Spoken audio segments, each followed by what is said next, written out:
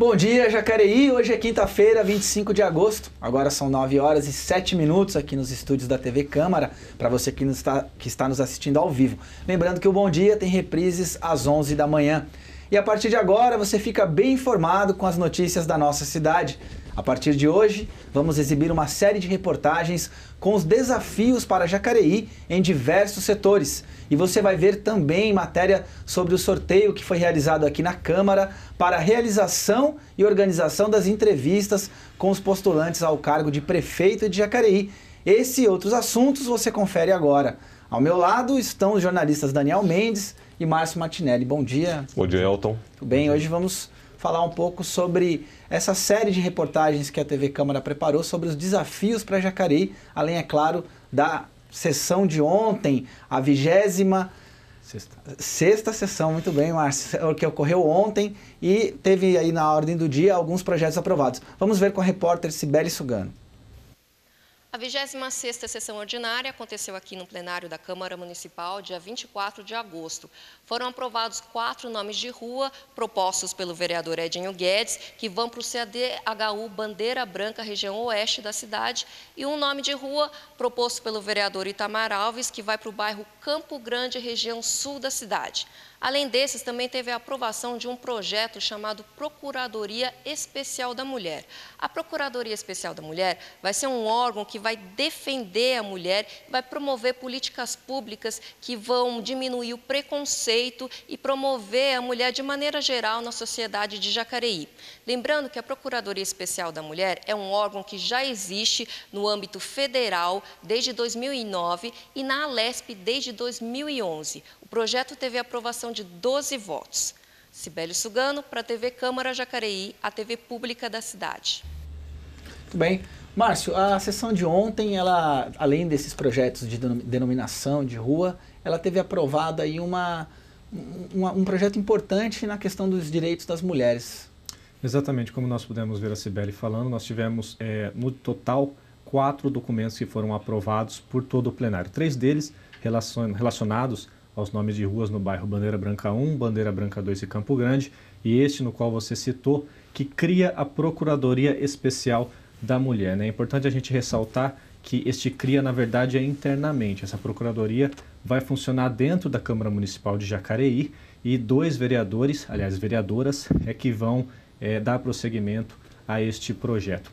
É, no escopo do projeto, bem rapidamente, é, ele diz que a função é fiscalizar os atos do Poder Executivo, especialmente relacionados ao recebimento, exame e encaminhamento de denúncias de violência e discriminação contra as mulheres, além de questões de igualdade de gênero. Ou seja, é mais um mecanismo válido que é, a mulher agora tem para que possa é, dar prosseguimento a qualquer coisa que esteja, digamos assim, interferindo nos seus direitos, ainda mais nessa pauta tão é, relevante que é nos dias de hoje. E é importante a gente ressaltar também que quem vai dar realmente efetividade, quem vai garantir o sucesso desse projeto é o próprio público feminino. Né? Ele quem agora, além da Lei Maria da Penha, a Lei dos Conselhos Municipais da Mulher, podem vir até a Câmara Municipal e buscar os seus direitos, agora com as vereadoras que estarão aqui presentes. Essas, é, no caso, a gente diz duas vereadoras porque nesse atual mandato temos duas vereadoras. Para o ano que vem, com uma nova legislatura, a Procuradoria continua com uma outra composição, então. Exatamente. Quando, é, se caso as vereadoras autoras do projeto não forem reeleitas, as outras mulheres que estarão representando o Legislativo deverão cuidar desta parte. Muito bem. Daniel, mais um. É, essa questão a gente vem acompanhando a questão da violência contra a mulher aqui na TV Câmara, já fizemos programas e matérias especiais. É um instrumento a mais aí para a cidadania é, buscar os seus direitos em relação a, a questão da mulher, não somente as mulheres, mas também qualquer outra pessoa, qualquer, os homens, qualquer outra pessoa que queira fazer uma denúncia pode procurar. É, eu acho muito interessante também o caso de nós termos aqui duas vereadoras, duas representantes do povo, porque isso já é feito, né? Quando uma mulher chega até uma delegacia e não encontra uma outra mulher, muitas vezes ela até desiste de fazer ali, de conversar com alguém para poder expor ali o seu caso. A partir do momento que ela ali encontra outra mulher, ela fica mais à vontade para poder estar tá conversando. Então, ou seja, é uma forma também de ampliar né, esse, essa questão de acolhimento, né? Então, as mulheres também serão mais acolhidas aqui na Câmara Municipal, tendo aí duas vereadoras encabeçando esse projeto. É uma oportunidade, como você mesmo diz, de dar mais assistência à mulher que precisa, assim como todo cidadão precisa também ser atendido. E aí está mais uma oportunidade para que as mulheres tenham esse atendimento. Então, é, concluindo mais, Procuradoria Especial da Mulher, né? Ainda dando um gancho no que o Daniel falou, é interessante porque no Brasil a maioria é a mulher. Nós somos 50, aliás, as mulheres são 54% da população. Agora, em questões culturais, nós sabemos que ainda existe muito aquela questão do patriar patriarcal, aquela questão do paternalismo, que acaba ah, fazendo com que o direito do homem ainda se sobreponha em relação à mulher. Então, como o Daniel deu prosseguimento, para finalizar agora, é mais um mecanismo extremamente válido, mas é importante que a população é, tome conta dessa situação, não deixe simplesmente para o legislativo. Isso é um ato da população, é uma pauta da população. Muito bem, então Procuradoria Especial da Mulher aqui na Câmara Municipal. E a partir de hoje, aqui no Bom Dia, você vai acompanhar uma série de reportagens que mostram dados sobre os desafios de Jacareí para o futuro. O que, a população pensa a respeito desses desafios e o que os especialistas em diversos temas falam sobre a nossa cidade. E abrindo essa série chamada Desafios de Jacareí, o primeiro episódio vai trazer o tema da saúde. Nossa equipe de reportagem saiu às ruas para saber das pessoas qual é o maior desafio para Jacareí nessa área. Quais são os desafios da saúde pública? Maiores desafios? Recursos, né? Falta de recursos. É o atendimento, né? Aquele que não pode pagar um convênio, ele não consegue ser atendido aqui em Jacareí. Tudo, né? Infelizmente é tudo. Tudo que a gente tenta melhoria na saúde, a gente não consegue. O maior desafio que a saúde tem eu acho que é a falta de investimento na saúde. O principal, o maior de todos, é a questão financeira. É o financiamento da saúde. Tem problemas de gestão, tem problemas de organização, mas hoje falta dinheiro no Sistema Único de Saúde. De acordo com a Lei Complementar 141 de 2012, o município tem a obrigação de investir 15% do produto interno bruto em saúde. Segundo a Lei de Diretrizes Orçamentárias, o orçamento bruto para Jacareí para o próximo ano é de 961,5 milhões de reais. Sendo assim, a previsão de investimento na saúde em 2017 é de 144,2 milhões. Para o médico e especialista em saúde pública, um dos grandes desafios para o gestor é concentrar atenção e recursos para a unidade básica de saúde. A porta de entrada deveria ser a atenção básica, a unidade básica de saúde e a estratégia de saúde da família. Isso vem há alguns anos já se invertendo. Eu acho que por uma questão cultural da população, que ela procura realmente o imediatismo das unidades de pronto atendimento e pronto socorros, e também de uma falta de formação dos profissionais de saúde para a prevenção de saúde o Ministério da Saúde determina que sejam realizadas entre duas e três consultas médicas por habitante por ano. Segundo dados do SUS, os municípios atingem e até ultrapassam esse patamar. 60% das consultas no município, das consultas médicas, deveriam ser na atenção básica. Hoje, por volta de 55, mais ou menos, por cento das consultas são realizadas nas emergências. Isso gera um aumento de custo para o poder público, né, de executar essas ações, e uma redução na assistência.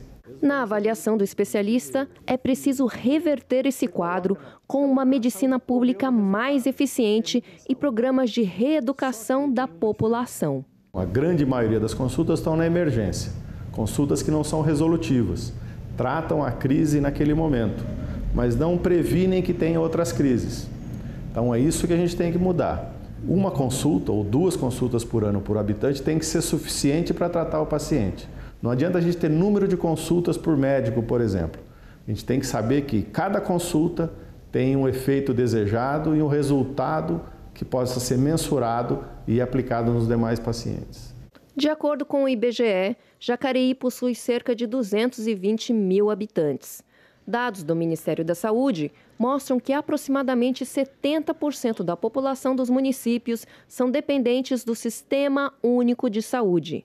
Para o especialista, o diagnóstico para a saúde do município não é dos melhores. Não é uma, uma fase fácil, eu acho que vai faltar mais recurso ainda para o município. E os municípios hoje, de uma maneira geral, eles Apesar da lei dizer que ele tem que gastar 15% do seu orçamento com saúde, eles vêm gastando 28%, 30%. Tem que se discutir, não só na saúde, mas em todas as áreas, segurança, educação, uma questão metropolitana. Acho que essa é uma grande sacada de se hierarquizar e regionalizar a assistência.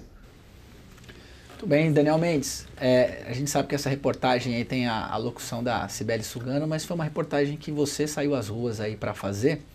É, a gente percebe que a opinião da população sobre o tema ela coincide com a dos especialistas e nem sempre, né? Às vezes a percepção que as pessoas têm dos temas é diferente daquilo que os números ou os dados indicam. O que, que você atribui isso, essa percepção de que realmente existe um problema na saúde brasileira? É verdade, Elton. É, falar de saúde é uma coisa muito complexa, né? mas ao mesmo tempo é muito simples na questão é, da sua efetividade, de como ela é feita é, nos municípios, nos estados é, brasileiros. O que o médico destacou que existe um grande problema na questão da saúde, que é a questão cultural, onde as pessoas buscam muito a questão da emergência, inchando as emergências, fazendo com que o poder público tenha ali maior atenção à emergência, porque lá que está o problema. Ou seja, existe um grande investimento para tratar a doença e não tratar de é, não ter aquela forma preventiva de tratar o ser humano de uma forma geral, para quê? Para que ele não fique doente. Então, o que ele falou, quando ele se refere que é preciso investir mais na, é, na saúde básica é justamente para que as emergências possam dar o atendimento necessário, que são as emergências de fato. Mas o que acontece? Na questão cultural, as pessoas querem muito imediatismo, né? Então, sentem qualquer coisa, então já procuram uma emergência. É uma questão cultural e elas não têm procurado, por exemplo, as unidades básicas de saúde. Ao mesmo tempo, existe também por parte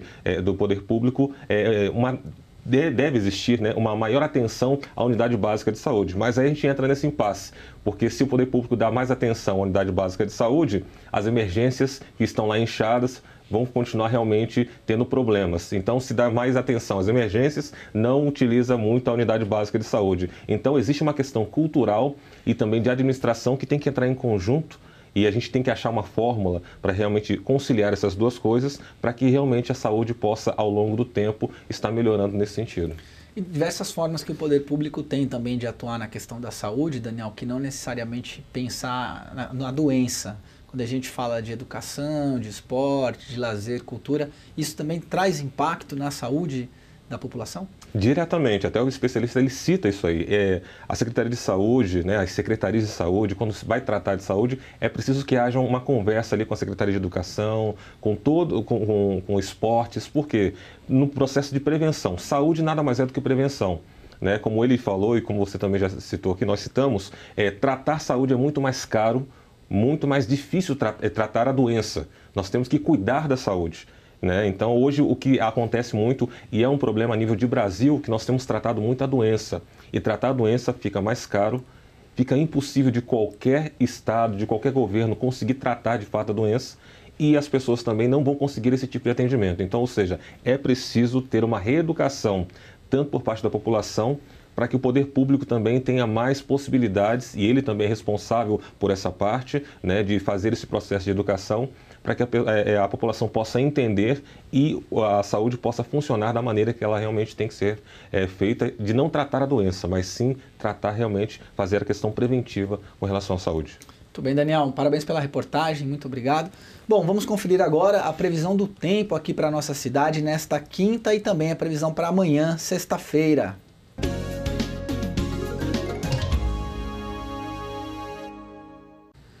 As temperaturas vão estar mais amenas e com pouca nebulosidade nesta quinta-feira aqui em Jacareí. A umidade relativa do ar vai marcar 54% e não vamos ter chuva. O sol deve aparecer, ainda que de forma tímida, durante todo o dia. A mínima fica em 10 graus e a máxima pode chegar aos 26. Amanhã, sexta-feira, um pouco mais de calor vai predominar aqui em Jacareí. A umidade do ar fica em 45%, ainda sem chance de chuva, e os termômetros variam entre os 12 graus e os 27 graus de máxima nesta sexta-feira. E depois da previsão do tempo, vamos saber sobre a localização dos radares móveis aqui na cidade. Nesta quinta-feira, os radares estarão nas avenidas Major Acácio Ferreira, Malaquiássade, Ademar Pereira de Barros, Elmira Martins Moreira, Rua Padre Eugênio e Rua Tiradentes. Amanhã, sexta-feira, os radares estarão nas ruas Expedicionário Armando Cavalcante, Bom Jesus, Avenidas Pensilvânia, Das Letras, Maria Augusta Fagundes Gomes e Dom Pedro I.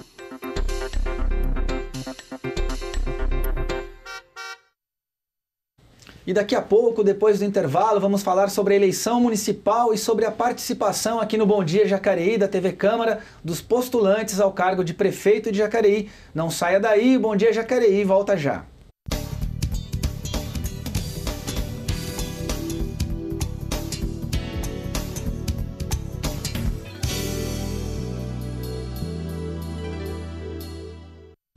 Seja bem-vindo ao segundo bloco do TV Câmara, aqui na TV Câmara do Bom Dia Jacareí.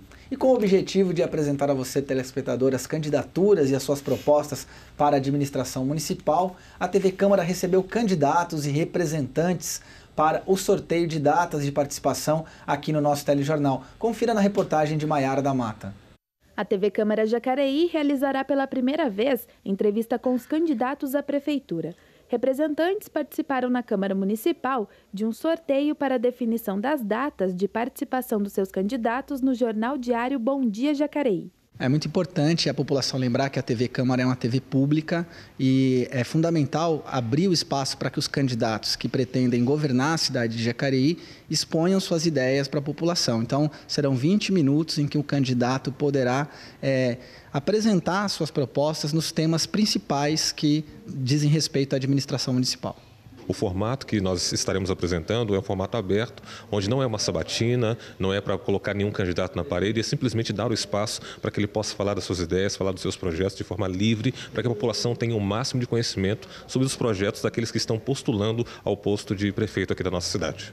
Durante a reunião de sorteio, foram apresentadas as regras para a participação democrática de cada um dos candidatos à Prefeitura Municipal. Felizmente o processo correu tudo certo, nós pudemos fazer esse sorteio da maneira mais isonômica e imparcial possível. Das oito candidaturas, sete compareceram ou enviaram um representante, ou seja, nós teremos uma maioria a ser entrevistada no Bom Dia Jacareí, ao vivo, isso é importantíssimo para a cidade, e a gente espera que todas essas entrevistas possam ocorrer da maneira mais proveitosa possível para a cidade, para que os candidatos possam efetivamente mostrar as suas propostas para Jacareí. O jornal Bom Dia Jacareí é exibido ao vivo às 9 horas da manhã, com reprise às 11, de segunda a sexta-feira, com exceção da quarta-feira. O calendário de participação dos candidatos ficou definido da seguinte forma: dia 26 de agosto, Zé Carlos, 29 de agosto, Edinho Guedes, 30 de agosto, Pedro Mota, 1 de setembro, Emerson Goulart, 2 de setembro, Ana Abreu, 5 de setembro, Maurício Raca. E 6 de setembro, Isaías Santana. É algo inédito para Jacareí, porque nós costumamos ver os debates que acontecem em outras TVs, mas não focando diretamente a nossa cidade. Mas Jacareí tem uma TV, uma TV que é aberta ao alcance de todos, onde as pessoas vão poder ter essa oportunidade, né, inédita aqui na TV Câmara de Jacareí, inédita para a cidade de Jacareí, ter aí os candidatos da sua cidade falando na sua TV para levar informação a toda a população. Muito bem, meus colegas. Amanhã começamos então a receber os candidatos a prefeito, aqui no nosso telejornal Bom Dia. E aí vimos a matéria sobre o sorteio. Márcio, você comandou lá esse, processo. É, fala um pouco para a gente como é que foi definido os critérios dessa participação.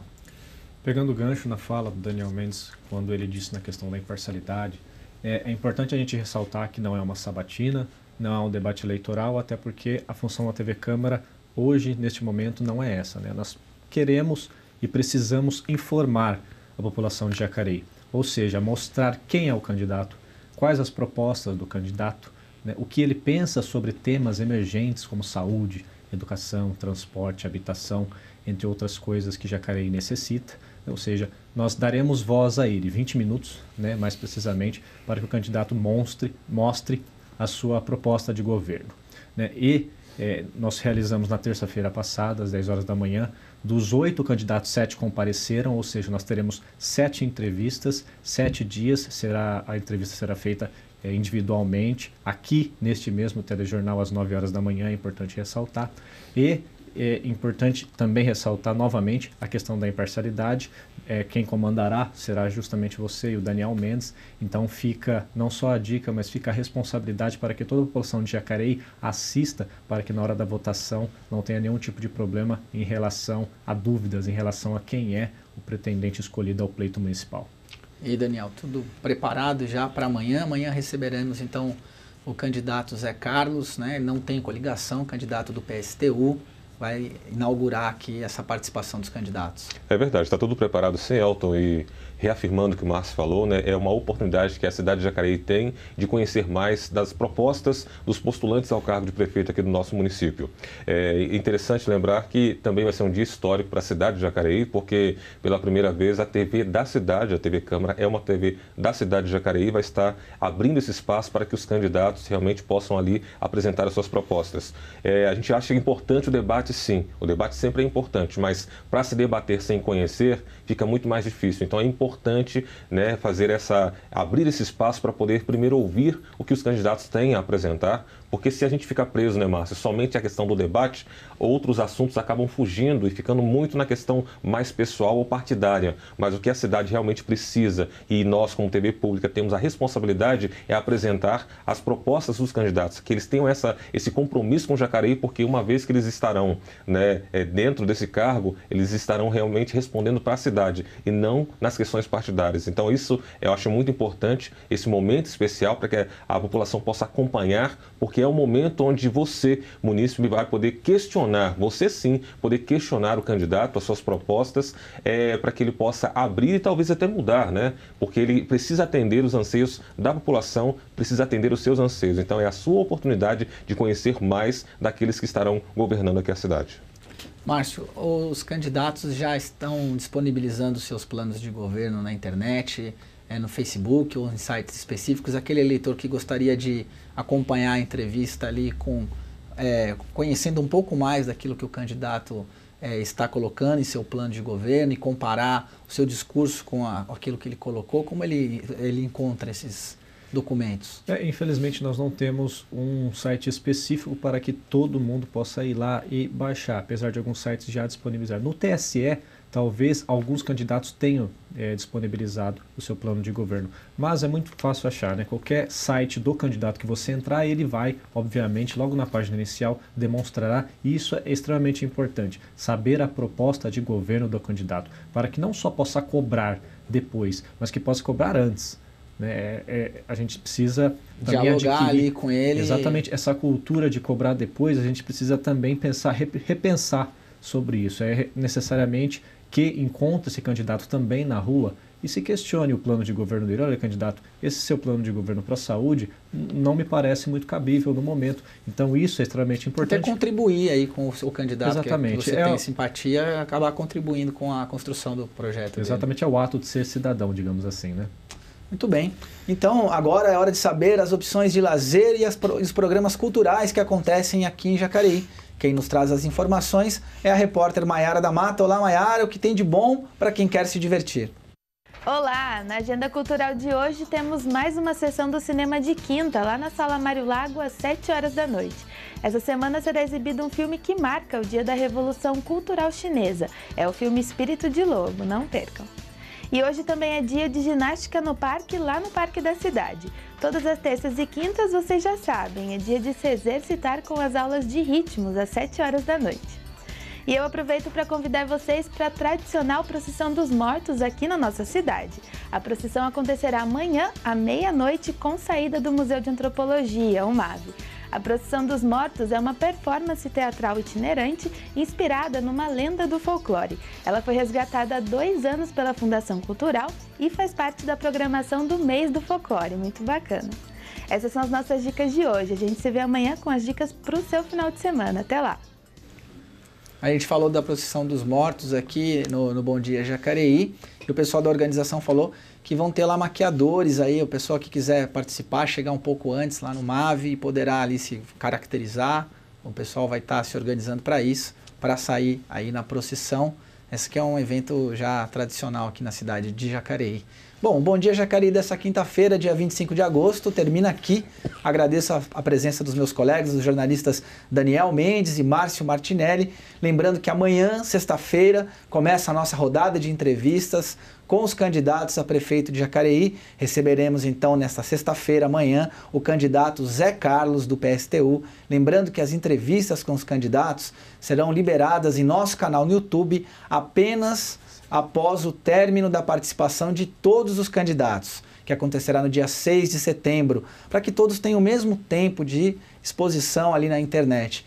Então não perca as entrevistas que começam amanhã durante o Bom Dia Jacareí, aqui na TV Câmara, a TV pública da cidade. Obrigado pela companhia, nos vemos amanhã e até lá.